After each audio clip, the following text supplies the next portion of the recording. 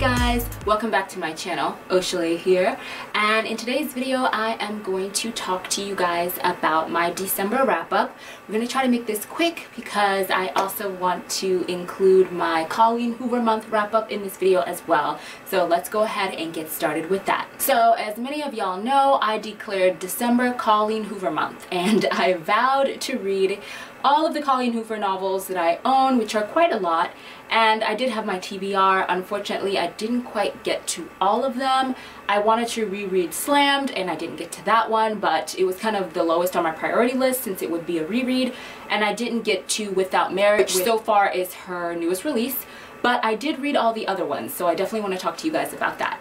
I was reading them in the order of publication, so I started with Maybe Someday, and I didn't I didn't really like it as much as I thought that I would, which really surprised me. I really found the romance to be distasteful in a way. I don't like the whole cheating trope. I don't think that it can be done very well. I haven't seen it done well. And I do consider emotional cheating to still be cheating.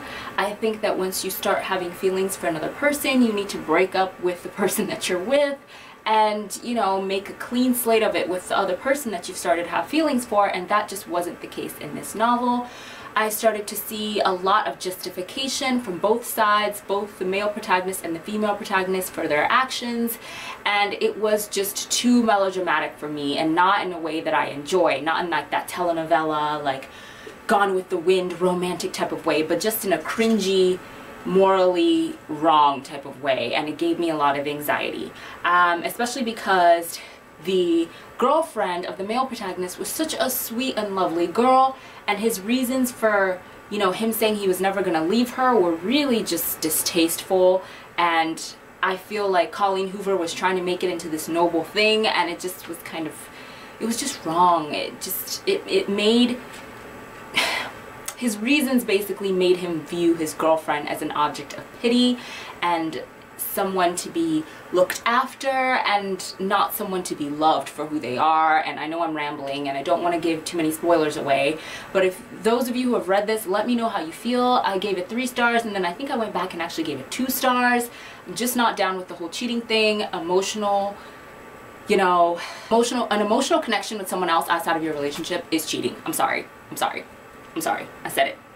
That was my major problem with this novel. I just, I don't even want to go into the synopsis. I will read all of the, I will leave all of the good links, pages linked down. I just, I can't, I can't with this book. I can't. So as you can imagine, when I picked up Ugly Love, I just wasn't that excited after having that distasteful experience. So Ugly Love was actually slightly better. I gave it three stars, but again, I wasn't blown away.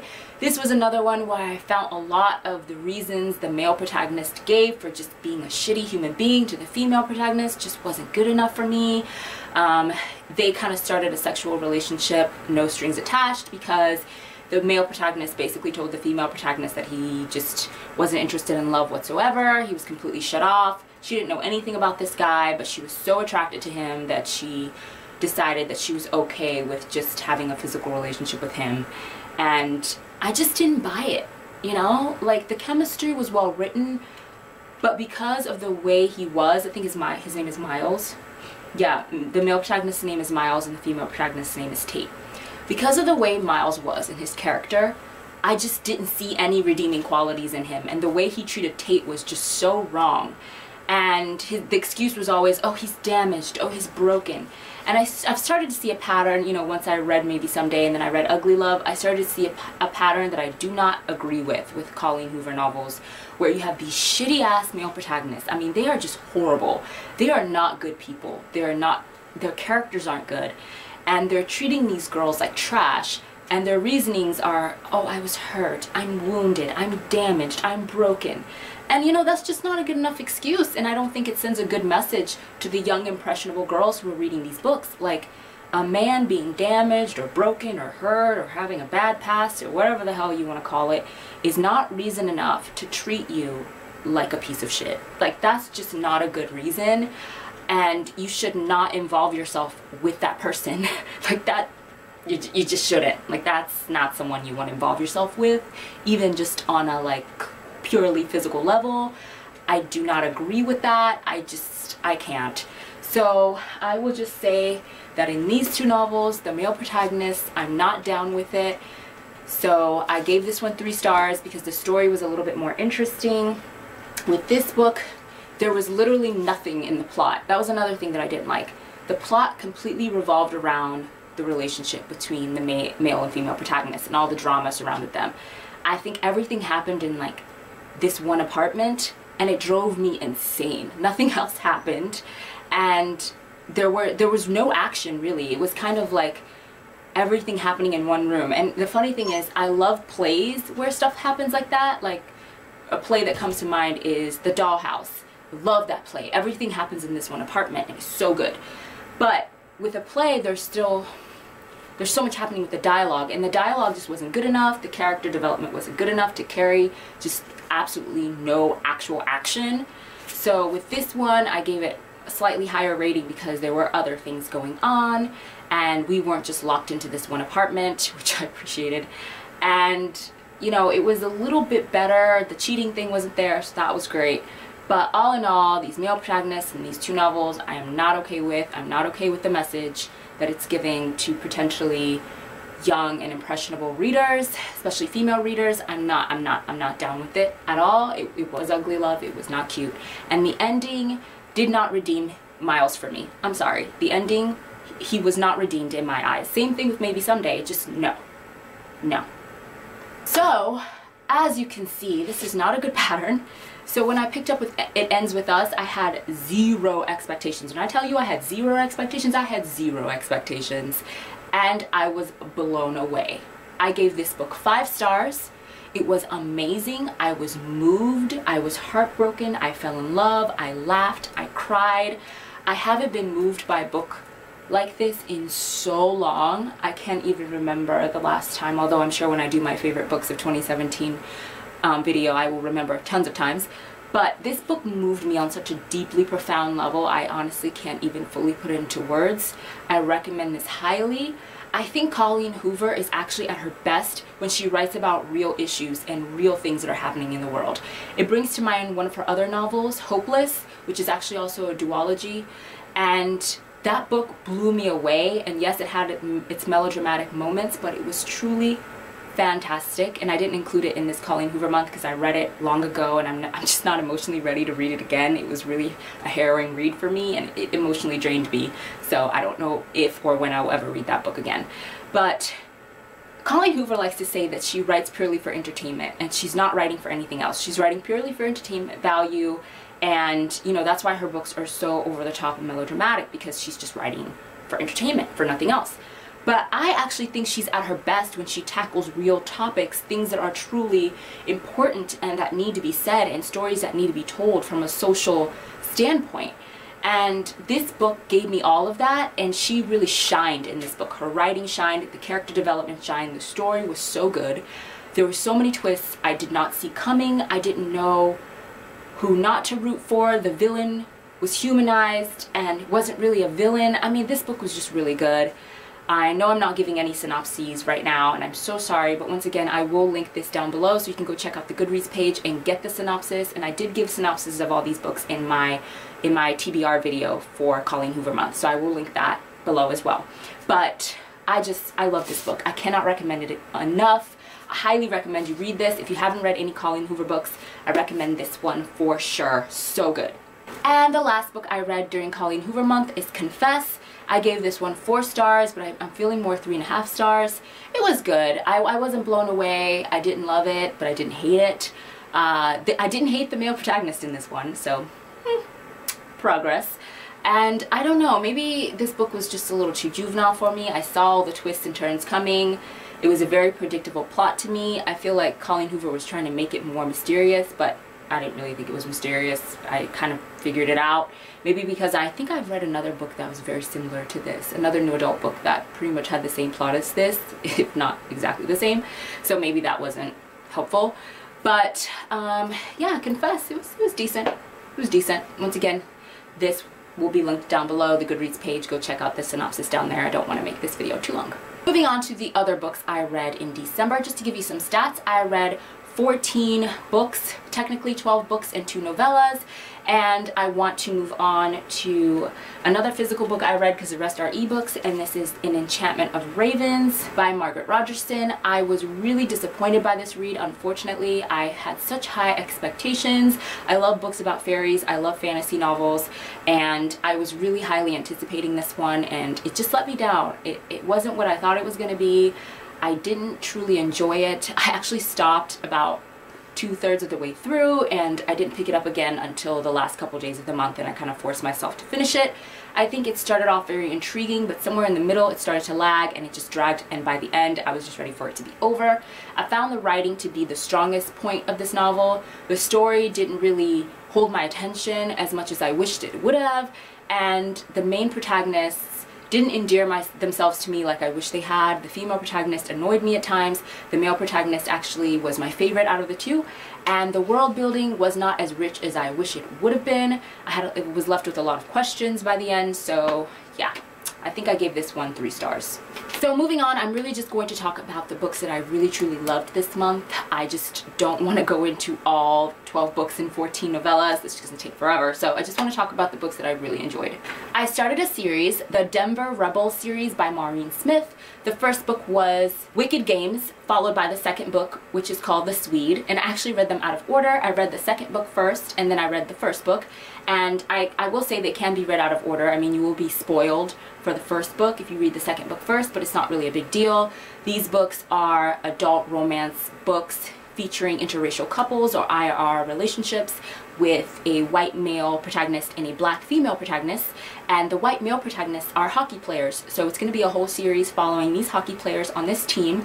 And I don't know why I read them out of order. I think I just found the second book and it really caught my attention. So I just went ahead and read it. And you know, it's a romance. So it's following the couple and how they fall in love and their strengths and and weaknesses and ups and downs and character development so it doesn't really matter you know they're gonna end up together in the end so doesn't matter if you're spoiled at least in my my opinion. I loved them. I loved this book. Both of them. I love both of these books and I love this series and I cannot wait to continue.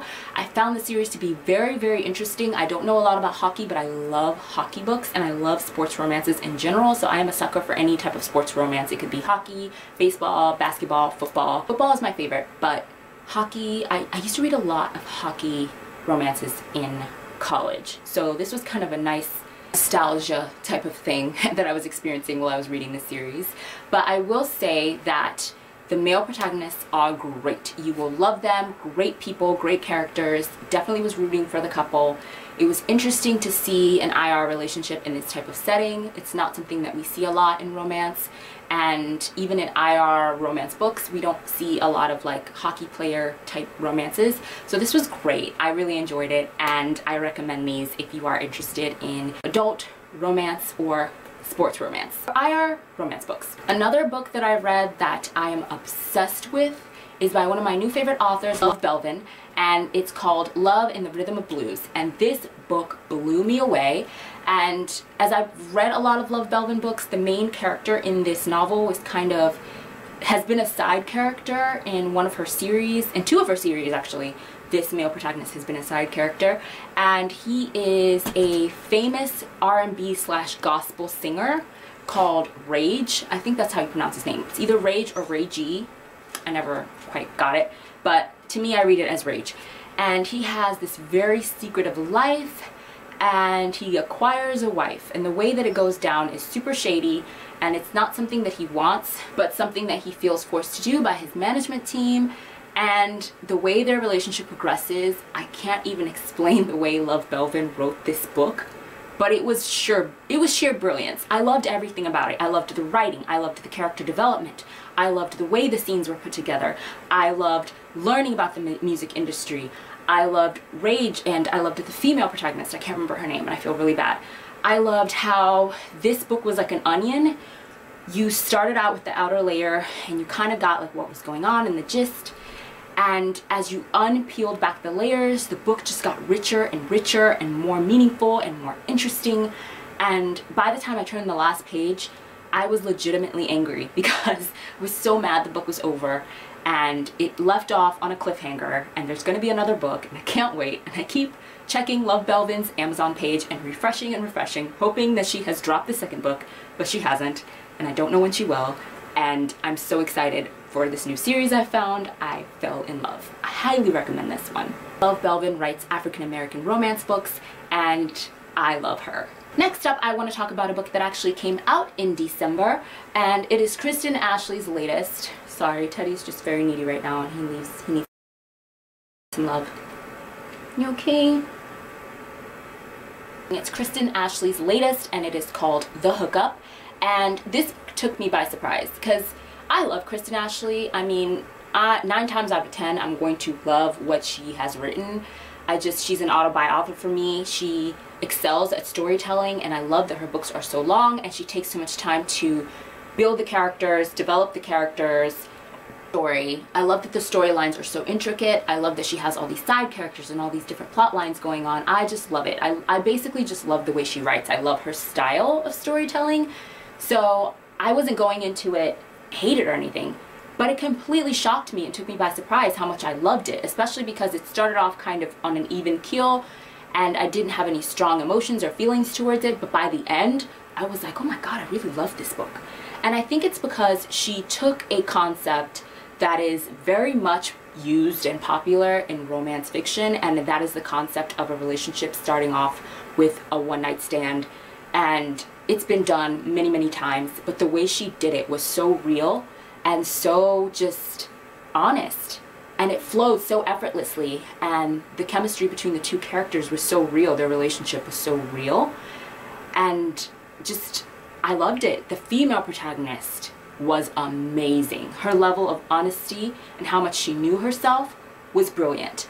The main protagonist even though he had been hurt okay Colleen Hoover it didn't turn him into an asshole. He was actually a really decent good guy and the way their relationship unfolded was so beautiful and so fun and entertaining entertaining to read that I know I will definitely be rereading this one. Four stars. But not least is a novella by Jacintha Howard, another one of my new favorite authors that write African American fiction slash romance. And this novella is called War. And ah, I loved it so much. It really shocked me how much I loved it because it is just a novella. It was about 100 and 35 pages, I think. It wasn't really a lot of pages. And I realized I loved it because basically when it was done, I flipped the last page and I was like, oh no, it's over. And I wish that it was a full-length novel because I wanted to read more. And it's basically about this girl that is home for the holidays in her hometown and she doesn't really come back. She hasn't really been back since she left and she's here to visit her mother who is really her only family but her mother has a boyfriend now and you know, she goes to this party with her best friend, Christmas Eve, and she's bored out of her mind, so bored that she starts reading on her phone because she doesn't want to be there. And a guy comes up to her and he's someone that she knew from high school, but they didn't run in the same circles, and he was a lot older than her, so she didn't remember him. And he starts teasing her, and kind of sparks fly, and he invites her to spend Christmas with him the next day and she's not taking him seriously at all. She leaves the party and she's intrigued and she's certainly attracted to him, but she's not really planning on ever seeing him again. And she goes home and one thing leads to another and her mother has to leave town with her boyfriend for her boyfriend has a family emergency and she ends up. So now it looks like she's going to spend Christmas alone. It's Christmas Eve, by the way. So she's kind of warming up to the idea. She figures that she's just going to eat her mom's Christmas cookies and snuggle in and watch some Netflix and everything will be fine. But then the power goes out and it is freezing and there's a winter storm that starts and she's completely terrified. So she thinks, you know what, I'm just going to get in my car and I'm going to drive back to my house, which I guess where she lives, her, her, her town where she lives is like a few hours away. So she gets in her car but she shouldn't have because this storm is getting worse and worse. Long story short, she gets stranded on the highway and her phone is dying and losing battery life. So who does she call? Why the handsome gentleman she met at the party, of course. And he comes and he rescues her from the cold and takes her back home with him. And she ends up spending Christmas with him and his family. And things happen and sparks fly. And it's so beautiful. It's such a beautiful story. I read it on Christmas Eve and it was the perfect read to read on Christmas Eve. And I absolutely loved it. I gave it five stars. So that is it for my December 2017 wrap up. It was a great way to end the year. I read some books that actually end up on my favorites list of 2017, so stay tuned for that video. It's coming up next. All in all, just to give you some stats, um, as I've said already, I read 12 books, two novellas, so 14 written works in total. And in total, I read 5,088 pages, which is pretty darned good if I do say so myself. So that is it for this video. Stay tuned for my next video. I will catch you guys there and thanks so much for watching, stopping by and hanging out with me. Love you guys. Bye. Bye guys. I found so many new favorite authors that I will now always look for their new releases and I'm so excited to add them to my list of favorite authors. Christina C. Jones, Love Belvin, B. Love, Jacintha Howard, Jai Brene, Nia Forrester, Maureen Smith, Joel E. Ann, Dylan Allen, Kennedy Ryan, and so, so many more. The last reading highlight that I want to discuss with you guys is